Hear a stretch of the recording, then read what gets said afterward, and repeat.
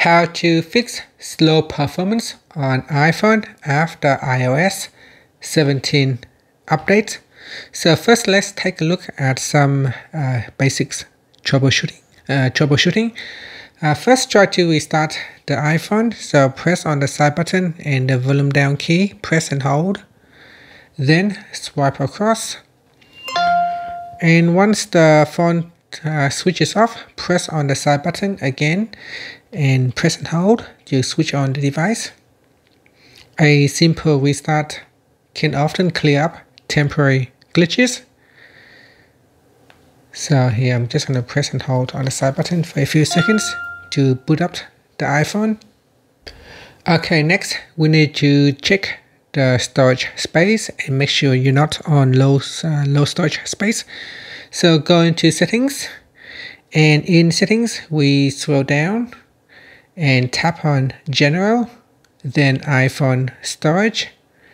Now in here double check to make sure you have enough storage. Now my phone have uh, plenty of storage left 475 gigabytes left. So I do have plenty of storage uh, space left. Go down the list here and uh, try to determine what's using up all the storage space. Uh, perhaps you can remove uh, some apps clear some photos and videos and delete any unused apps so any apps that you are not using.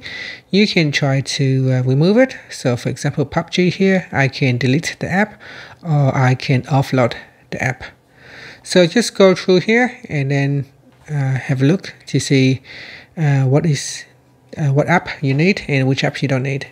Try to delete some apps and clear uh, some videos and photos. So make sure you have enough storage space on your iPhone.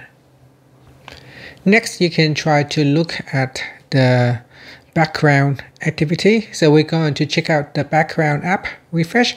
So go into settings and in settings we go to general. Then in here we go down and tap on background.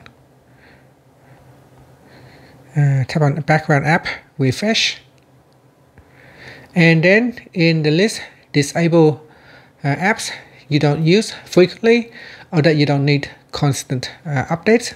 So go down the list here. So for example facebook or if you use face, uh, facebook a lot you can leave it on uh, for Google Drive I can switch it off or Dashlane so go down the list here and go down each app each of the apps. The apps that you don't use often you can simply turn off background app refresh. So I have a lot of them here uh, perform uh, uh, update on the background so I can switch off uh, some of them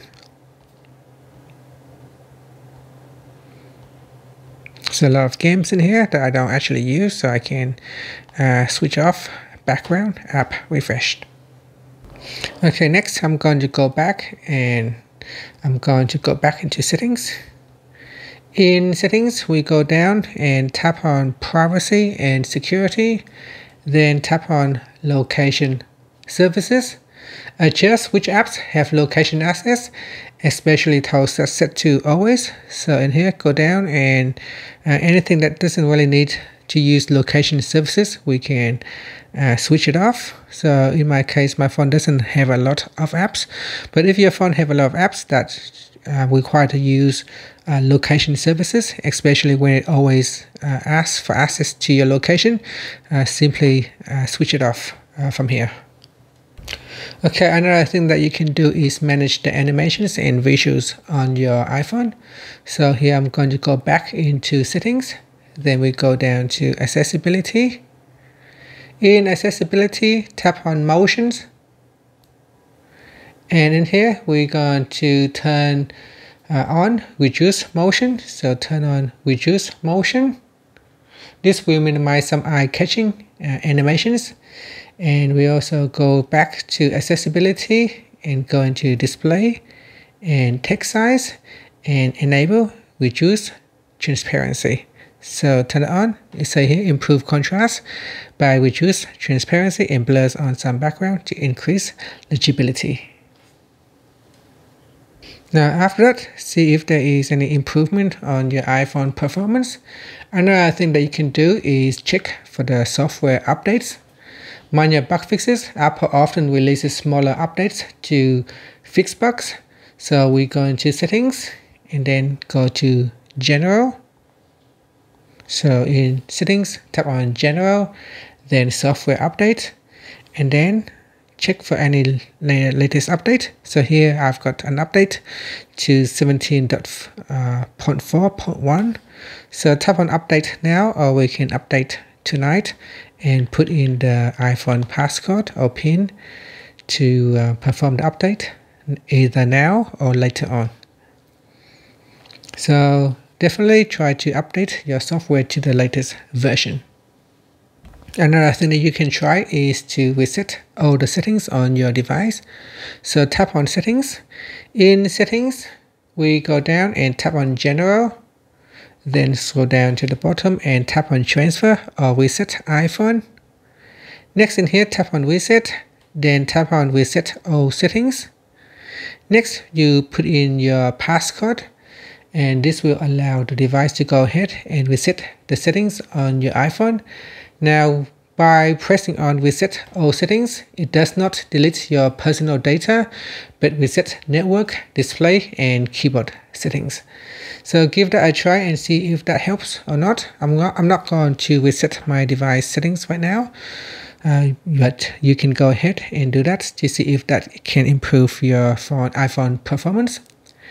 Now lastly, you can try to restore your iPhone as new and this one, uh, this option would be your last uh, resort. Uh, if you have tried everything else and if it still doesn't work, maybe you can try to restore your iPhone as new. So the first thing that you want to do is backup your device. Now you can backup your iPhone to iCloud in your um, iCloud uh, Apple, Apple ID account and go to iCloud and, and backup your iPhone.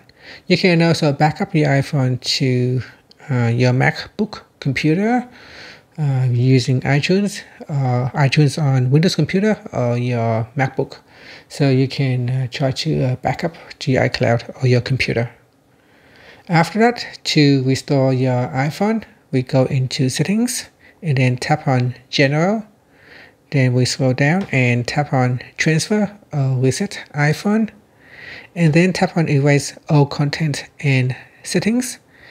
In here, by tapping on the continue button, this will allow you to proceed with the deletion of the iPhone and uh, all the data on the device. So if you are sure to do this, go ahead uh, make sure you back up all your data and then go ahead and continue to delete your iPhone data. Once you have reset the iPhone, you can restore from the backup to restore your uh, data. Now, some there are a number of things to consider if you have recently uh, just update your iPhone. Uh, give your phone some time, give your phone a day or two after the update for the index to complete.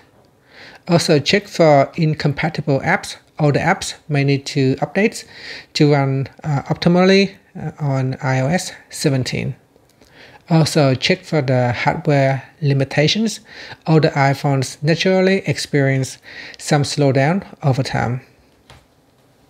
And uh, on your iPhone, uh, you also might want to close unused apps as well.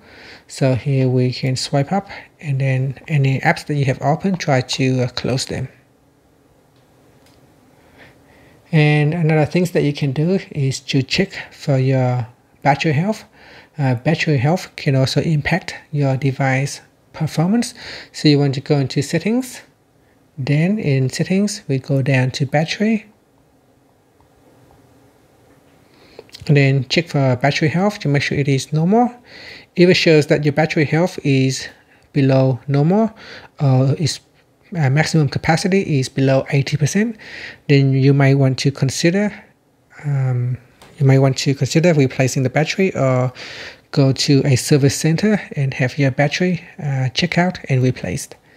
And that's it. Thank you for watching this video. Please like and subscribe to my channel for more videos.